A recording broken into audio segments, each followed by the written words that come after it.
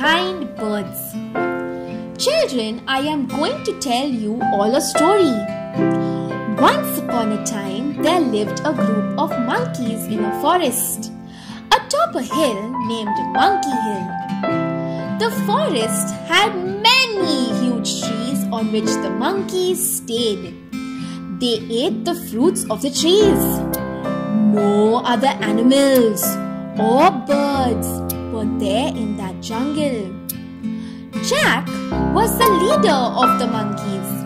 He was huge in size and great in wisdom. Jack was a caring and loving leader, and the monkeys were living happily as there was no one who attacked them. At the sunset of an evening, a flock of birds came to Monkey Hill.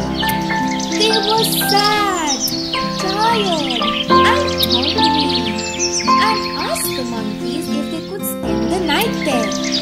The younger monkeys began to chase them, saying, The jungle belongs to us, and there is no place for anyone else. The birds pleaded helplessly.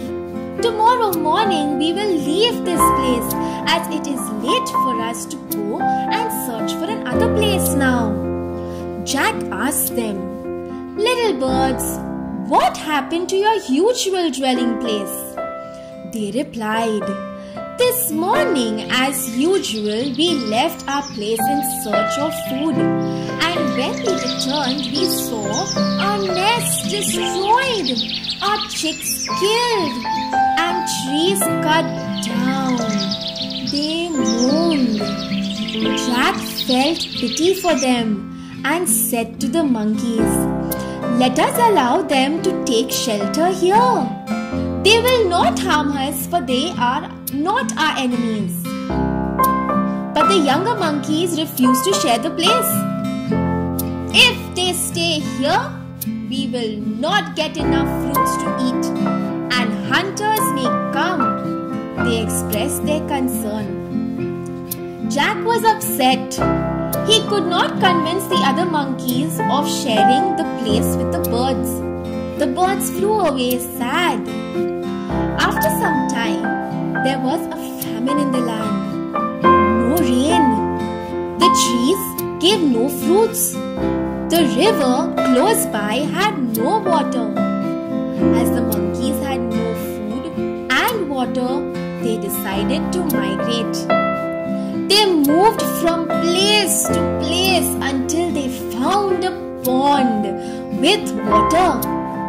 As they were about to drink the water, some people saw them and started to throw stones to drive them away.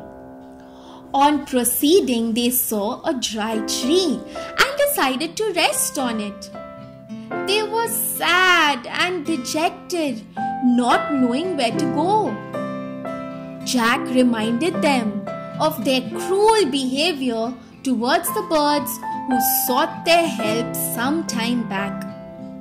While speaking, they spotted a flock of birds flying over them. They shouted, Dear birds, we are in search of food and shelter.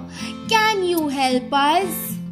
One of the birds whispered to the other, These are the same monkeys who refused to shelter us that night. Let us not help them. But the leader of the birds said, Yes, they refused to help us. But let us be different and show them kindness, which may help them to change their behavior. The leader of the birds said, Dear friends, we will surely help you. Three miles away, there is a huge dam with water and plenty of trees with fruits. You can satisfy your hunger and thirst. We will fly slowly ahead of you so that you can follow us. The monkeys followed the birds and were delighted to quench their thirst with the water from the dam and eat the fruits from the trees.